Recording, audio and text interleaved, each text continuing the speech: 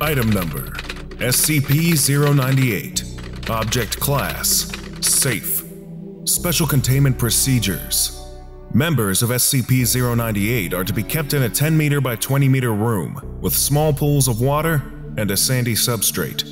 Rocks and driftwood are to be left in a random arrangement for SCP-098 to nest in.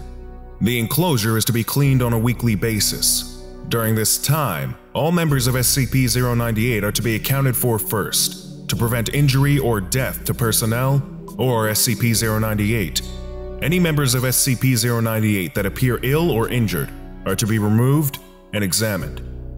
Description SCP-098 is a species of previously unknown crustacean. They resemble crabs, but rather than chelae, the front limbs terminate in knife-like structures that incorporate silica to form an extremely sharp edge.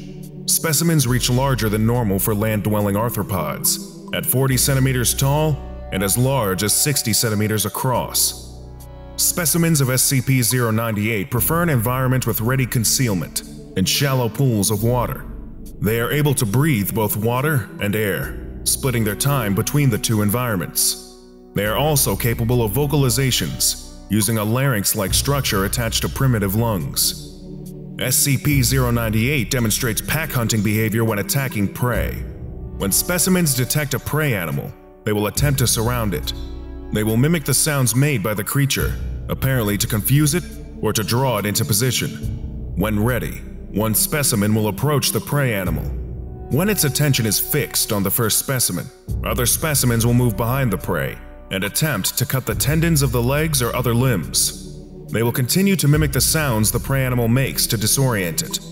After making a cut, a specimen of SCP-098 will spit a viscous mucus over the wound. This substance hardens rapidly, preventing blood loss or infection. This continues until the prey animal is completely immobilized. At this point, specimens will begin to feed on the prey animal by cutting off small pieces of flesh. This begins with soft, readily accessible tissues, such as those of the face and extremities, before moving to other parts of the body. Specimens of SCP-098 will only feed so long as the prey animal is capable of respiration. Feeding can last several hours or several days, depending on the size of the prey animal and the number of specimens present.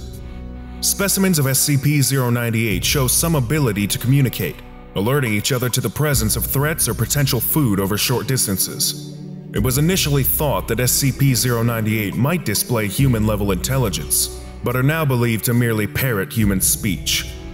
SCP-098 normally poses little threat to adult humans, preferring smaller prey, such as dogs, cats, and small pigs.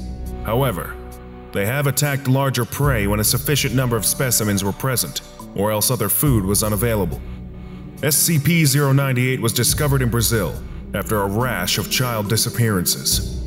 Addendum 098-1 SCP-098 is more intelligent than previously thought.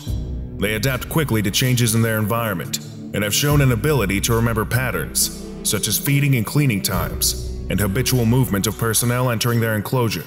Cleaning personnel must ensure that they regularly vary their routes through the enclosure to prevent incidents.